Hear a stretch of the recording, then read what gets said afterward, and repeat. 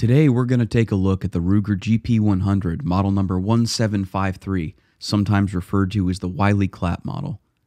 There are certain guns that I remember hearing about or seeing well before I became the firearms enthusiast I am today that made an impression enough for me to say, I'm going to buy that gun someday.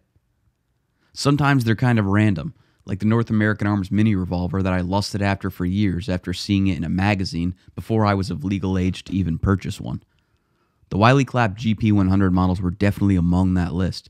There was just something about the no nonsense, all business, utilitarian look of a 357 built for fighting that really drew me in, even before I knew what that really was or its practical application.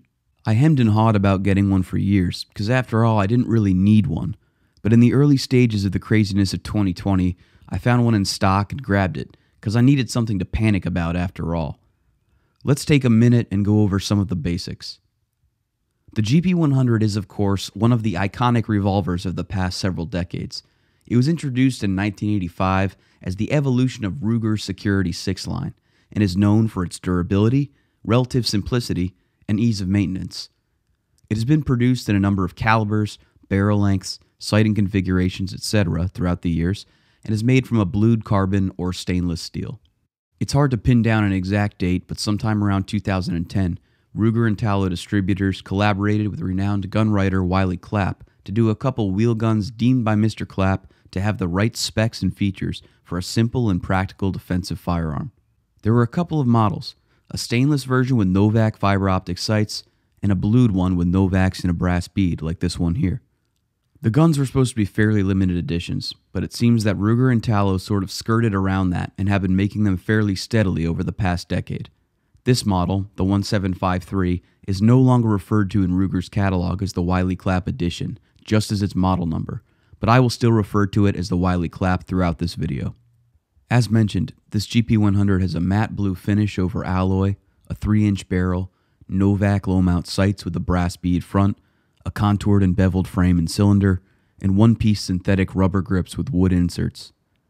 Its overall length is 8.5 inches, and it weighs in at a hefty 36 ounces.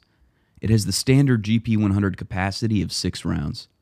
The GP100 gets its reputation for durability in part due to its triple locking system, in which the cylinder is locked into the frame at the front, rear, and bottom. I'm not going to tell you that I have shot thousands of heavy 357 loads through this in the past year, but it only takes a cursory search of the web to see anecdotes from many very good shooters and experienced lawmen about the GP100's tank like ability to eat full house magnums for a very long time and not be any worse for the wear. It just feels solid. I love Smith K frames and I own several, but a GP100 just feels like a different animal. Ergonomically, I personally don't love the grips that come on the Wiley Clapp. Since I have fairly small hands, I seem to shoot revolvers better with shorter, smaller grips. I don't know if that's just in my head or if it makes sense, but I will probably try out a set of the Altamont compacts on this gun at some point, which will also help me out in concealment. Other than that, it points well for me and its weight really helps in stability and recoil management, and conversely, staying on target. The Novak sights work great. They're simple, durable, and can be picked up in various lighting conditions though my preference for a front sight is something that pops a little more than a brass bead. I may upgrade to a tritium front at some point in the future when funds allow. I wish more revolvers came standard with Novaks, as they are easy to switch out for different configurations. I'm a little underwhelmed by the trigger on this GP, maybe because I'm spoiled by my old K frames and my broken in new Model 66 and even my Berettas.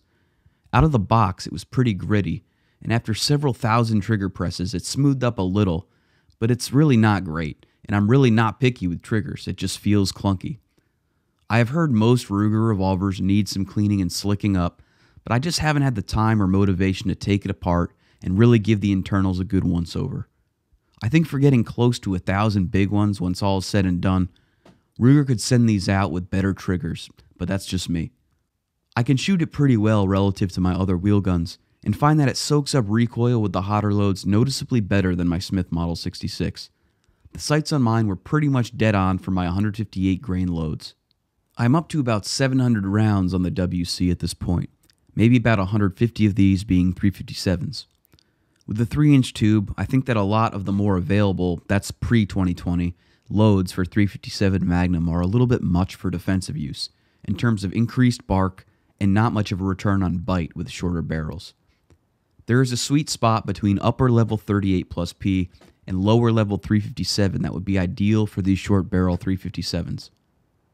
I've been carrying Buffalo Bore 158 grain 38 plus P, which is a simple, proven load that does around 1,140 feet per second out of a 3 inch barrel, which translates to around 450 foot pounds.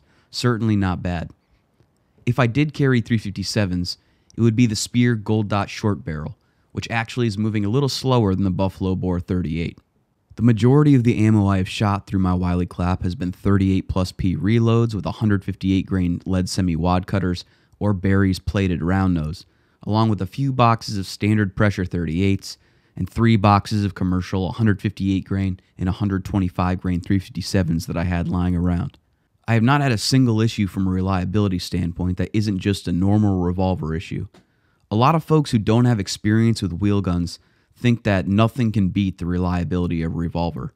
While this is true in some cases, especially when we're talking about a very clean gun, if you're at the range putting a decent amount of ammo through the gun, unburned powder flecks and other debris will cause issues in pretty short order.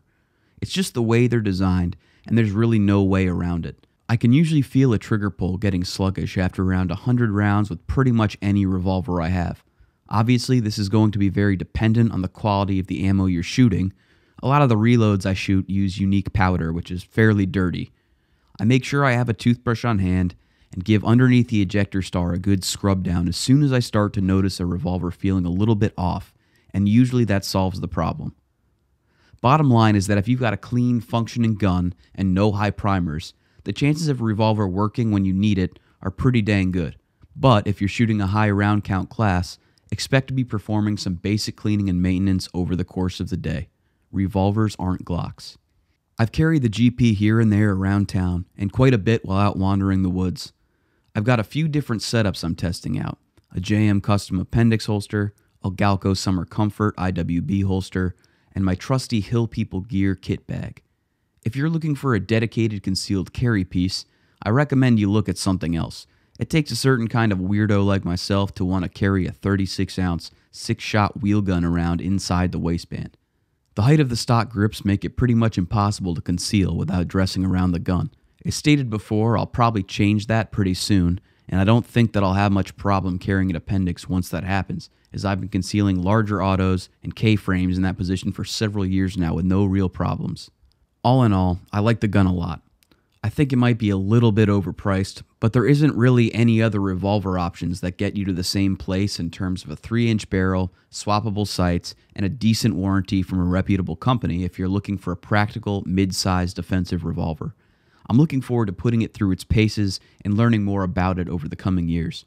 Thanks for watching this video, folks, and stay safe out there.